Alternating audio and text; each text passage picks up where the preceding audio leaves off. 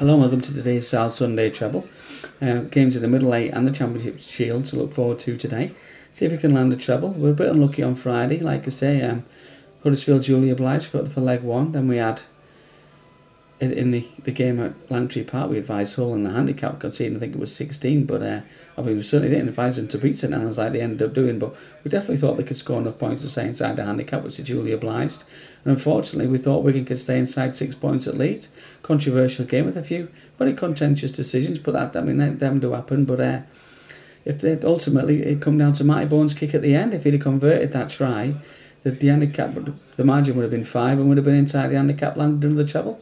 But never mind, we'll go again today, have another go. Obviously, you know, this is just fun bets really. There's nothing to go too crazy on. But anyway, the first leg of our treble today, I think we'll look at Sheffield getting a 32 point start away at Widnes. Now, Widnes in the past have struggled in the Challenge Cup at home against sides in the Championship.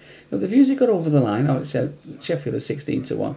It'd be absolutely crazy to have a look, even have a look at that. I can't see that happening. But Widnes have struggled in the past to, to, to land big scores. And obviously, again, last week, for long periods, I think about 75 minutes, they were only four points club away at Halifax. And I think Halifax were battering the line towards the end. I think for long parts, Halifax more than matched Widnes. And uh, Widnes scored two tries at the end, but obviously, you know, that was only 14 0. This is 32 point start. I think Sheffield can put up a good show tomorrow. I think they can stay inside that. It's a big handicap. This is a really tough series, this middle eight. You know, there's some big games, and uh, Widnes will just be happy to get over the line and get a win you know, move on. I, I, you know, I think they'll finish in the top two, them and Hull KR, but I think you know, that 32, that, that's a lot of points to, for them to win by. So I, th- I definitely think Sheffield can stay inside that. Second is another game in the middle eight. It's Leigh getting 10 points start away at Salford. Now Leigh are 5 to 2 to win the game, Salford 2 to 5. I'm not really sure about Leigh winning the game. I think last week would have took a big knock in confidence for them, losing that big lead against Hull KR. But this Leigh side's got plenty of tries in them. They're brilliant to watch going forward. You know, they've got likes of Brierley, McInally and, and KO scoring tries for fun.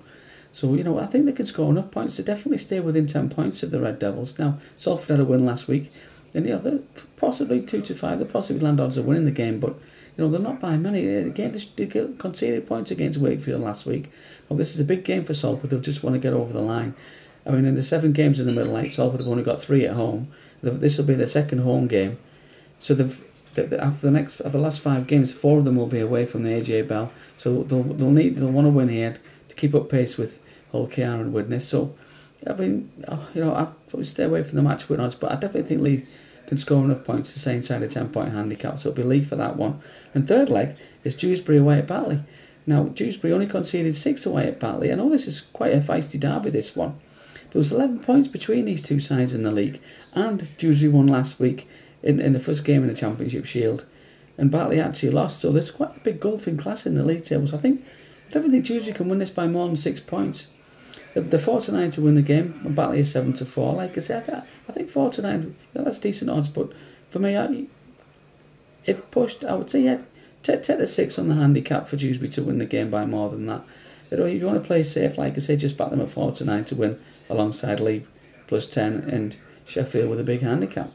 Now the other games, Halifax get a massive twenty to one quote to win away Hull who were forty to one on. Handicap's obviously more realistic; it's thirty. Now, I must admit, I'm struggling to see where I'd, where I'd stand on this one. I mean, they defended really well Halifax, but they obviously tied towards the end. That that really strong effort against Widnes could take a lot out of them. Hull KR have had some big wins at home in Super League this season, and like I said, they'll, they'll gain a lot of confidence from the Cup semi-final win, and plus that great comeback second half against Leigh last week. So I think if pushed, I'd probably I'd probably say okay, I would cover that thirty point handicap, but I don't like big handicaps. Like I say, if Halifax scored three tries, which they're more than capable of doing, then Hull can need to go above fifty to beat the handicap. So I'm not, I'm not a big lover of big handicaps like that. But if pushed, I suppose they're looking at the the form in the league. The home form is really good. I mean, they smashed Wakefield at home. You'd, you'd, you'd probably say they'll probably cover that. Now the two other games in the Championship Shield, you've got Featherstone who are conceding a 38 point start away at Doncaster, only won once in the league last year. Doncaster get a massive 25 to 1 quote. Obviously, you know, the men in white coats will be coming for you if you go anywhere near that. I just, you know, Featherstone have been quite disappointing this season. They've shipped a lot of points, but, you know, Doncaster, they, they, they've had some bad beatings this year, so maybe you possibly think that Fev would just just about cover that. But again, it's a big handicap, so it's very, very risky. And finally, you've got Workington conceding 12 points at, at Hunslet. Now, Hunslet 3 to 1 to win this, and you know that's, that's not bad odds if, if you're looking at it. I certainly think they can keep Workington inside two scores, but uh, yeah, they're, they're 3 to 1. People might want to look at that. I mean, Work, Work's sort of better home side for me, but uh, it's, it's, a good, it, it, it's a good bet and eat that one. Like I said, but for me, looking at it on, on, on the whole, it'd be Dewsbury minus 6. Sheffield plus 32 and Leigh plus 10 for the SARL Sunday treble. Let's have a bit of luck. See you later.